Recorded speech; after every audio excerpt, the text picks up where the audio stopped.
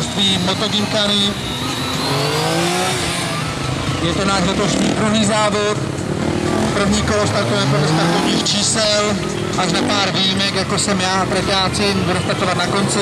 Druhé kolo se pojede podle času od eh, nejpomalejšího po ten nejrychlejší. Tak a Maspel máme na trati. Maspel je náš takový testovací jezdec, má startovní číslo jedna, takže čekáme, jaký bude mít čas. Maspel má od minulého závodu motorku GSXR 750. Myslím si, že to bude velice dobrá motorka na tuhle trať. Trať bude taková hodně rychlá, svížná. 125 tady budu mít asi trošičku problém. No i to hrál tam pomalu měl omezovač, tak uvidíme.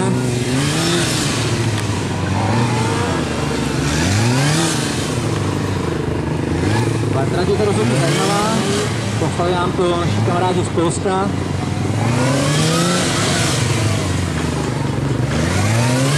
A pardon, to jsem zase.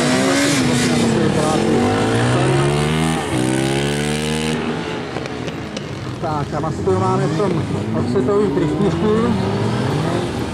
Tam se mu to trošku zavlnilo.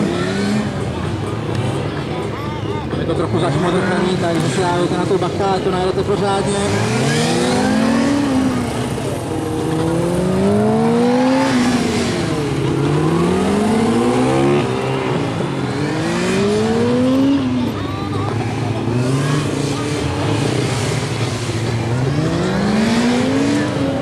Tak zatím je to minuta a půl, takže to bude docela dlouhá trať. Masto už teda je za půlkou, tak odhadl.